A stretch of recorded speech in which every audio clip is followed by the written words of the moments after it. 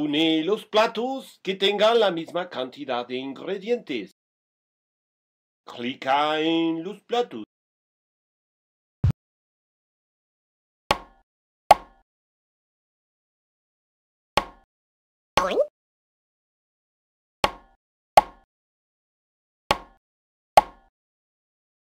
Fantastique